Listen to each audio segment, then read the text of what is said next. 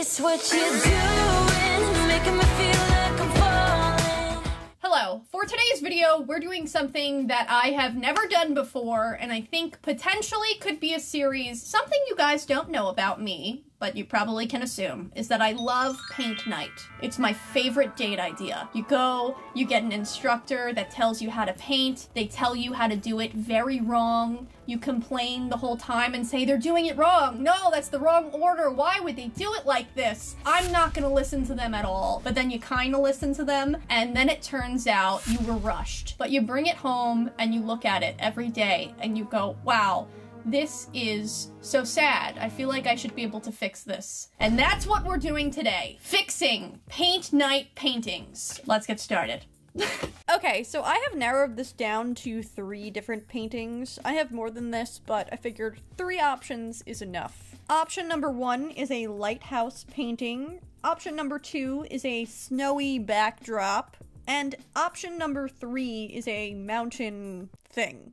All three of these options are kind of bad for different reasons. The snow scene doesn't have enough going on. The mountain range has trees that are black, which is boring, and the lighthouse scene's sky is just not blended properly. There are three really solid options here, but for this first episode of fixing my paint night paintings, I have to choose one the lighthouse. I chose this one because I felt like it was the most interesting. I feel like I like the colors, but I could change them up. The sky is definitely not blended properly. There's even a black dot randomly in the middle of the sky.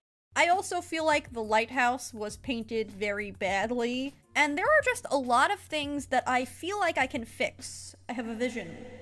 You'll notice that this is actually a very long canvas, and it doesn't all fit in my shot at once. So I did kind of have to focus on the sky first, and then the water second. I realize I think I gave an improper explanation of what paint night actually is. So in case you don't know what it is at all, picture this. You and your group of friends go out to a paint night. You go into this room, it has a painting that everyone in the group is going to paint. There's an instructor, and there's a step-by-step tutorial process that you and your group will go through with the instructor. They supply all the materials, the canvas, the painting, the water, the paintbrushes, etc. Sometimes there's even food and drinks there. Really a social experience. I've done it for my mom's birthday, I've done it for my bachelorette party, or it could even be a date night I went for Valentine's Day one time. Because this is really intended to be a social experience, the painting results are often subpar. The thing you're trying to paint is usually very simple. The instructor has to be able to tell you and a group of 20 people how to recreate this painting, and you only have three hours to do it. The results are not going to be masterpieces, and you kind of know that going in. It's more for like talking with your friends and also doing something artistic while you eat. But I cannot do anything casually. I take everything to an extreme and have to make everything perfect at all times. So when I do a paint night, I actually take it very seriously and I really look at the instructions that are going on with the instructor and I kind of do my own interpretation. I think we've learned from my finishing childhood art kits series that I do not like instructions. I hate reading them, I hate following them. I like to figure it out on my own, and even with a paint night, where the sole purpose of the event is to follow the instructions, I find myself going, no, no, no, that's that's not the right order to do that, or no, no, no, this color would look better. I go to paint night tutorials and I follow barely any of the instructions. And I have to say, that is the most fun part of paint night for me. I go, ooh, you guys are painting the trees. Well, guess what? I'm painting the sky first. I I'm having a great time not following the instructions. So fun. Instructions are more like suggestions in my mind. It's a great time. I'd like to move our attention back to the painting that I'm painting right here.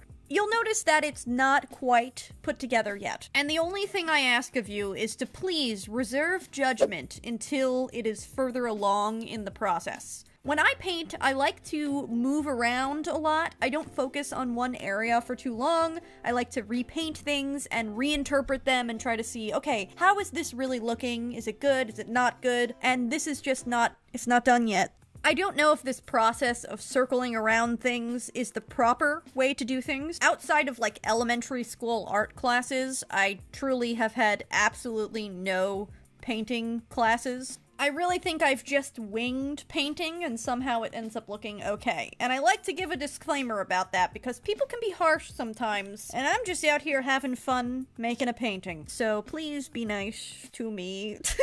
I had a vision in my head of like this really nice pink and purple sunset kind of scene on the water. It's a lighthouse. Obviously, it's on the water. Oh, a lighthouse. I think I originally painted this painting with my friends because lighthouses are like a thing on Long Island. I don't know if it's actually a thing to other people. Maybe it's just a thing I've noticed. But there are a bunch of lighthouses around on the water. For example, the Montauk Lighthouse. I don't know. There's just different lighthouses, and there's certain people that decorate their homes with a lot of lighthouse stuff. And I'm not even against it. Honestly, I love the lighthouse theme. If we have a bathroom that has a lighthouse theme, I think that's quite fun. I have gone so far off topic, I don't know even how I can regain focus. I want it to look like the waves are crashing into the lighthouse. And this is honestly quite messy right now, but I promise it'll get better. I just had to build a lot of the paint colors. I also focused on the water in the back and started adding a bunch of little tiny lines to create different colors and textures in the water. Because the sun is setting on the right side of the lighthouse, you'll notice that the water is more yellow on the right and more purple and blue on the left. After messing with the water for quite a while, I moved on to the lighthouse. I started sketching out the new shape for the lighthouse using this red color. I figured that would be a good base color to build off of because the sun is setting, everything's very warm, and I can always add colors on top.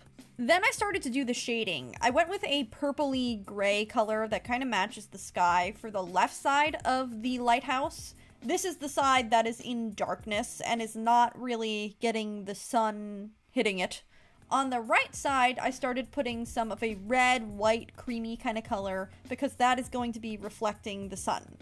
I also started working on the light inside the lighthouse. I suppose this is more of an old fashioned lighthouse where there's an actual fire inside. I think nowadays they just put an electric light bulb, but this is a fire. On the right side, I added a white line to emphasize how bright that back side really is, and I blended it out.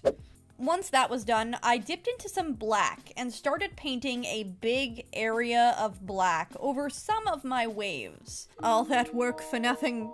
Just kidding. This was a necessary step because the lighthouse cannot be just like floating in the middle of the ocean, or at least I don't think it can be. In my opinion, I feel like the lighthouse should be on some kind of land mass. So I decided to create a bunch of rocks. I feel like a rocky water area is often common around lighthouses, so this fits. I started off painting the rocks using my paintbrush, and I was feeling like the rocks were looking way too smooth. They have more texture usually. So I started using this tool. I don't know what this tool is called. Just googled it. Apparently it's called an artist knife. Regardless, it helps me create some texture on the rocks. Once the brown was done, I added some yellow to the rocks to kind of make it look like the sunset was reflecting off of them. I also added some black and purple to the left side of the rocks to create some more shading. Now I'm going back to the lighthouse to add some more details. The fire needs to be encased in some type of like glass or like I don't know, metal bars. I personally feel like this looks like a birdhouse when it's done, but you know, I tried my best. After adding the initial black lines, I also added a bunch of shading and lines to make it look like, wow, this fire is really smoky and mysterious inside there. I also added some metal bars around the outside rim of the lighthouse so that people will not be able to fall off if they do go up to the top. On the bottom part of the lighthouse, I added some crevices and lines to make it look like it's very weathered from the salt water that is repeatedly hitting it over time. It just becomes very old and has a lot of different marks on it. I also added a tiny little window on the side of the lighthouse. After that, I went back to the waves and I added a bunch of white dots and splashes to really make it look like the waves are hitting the rocks and even the lighthouse. In the back, we have a small peninsula as well. I signed my signature on the bottom right corner, and here we have the side by side comparison of the before and the after. I am so happy with this result. I feel like I really did fix my paint night painting. I like that I was able to keep the placement of all of the objects. Like, I kept the placement of the lighthouse, I kept the sunset, and kept the sun in the same spot. But I also kind of changed up the colors. I really changed the way the water looked, added the rocks, and I feel like it really came together. I had so much fun doing this video. I really love the painting. I love the way it came out, and I hope you guys like it too. Thank you so much for watching, and I'll see you next week for another video. Bye!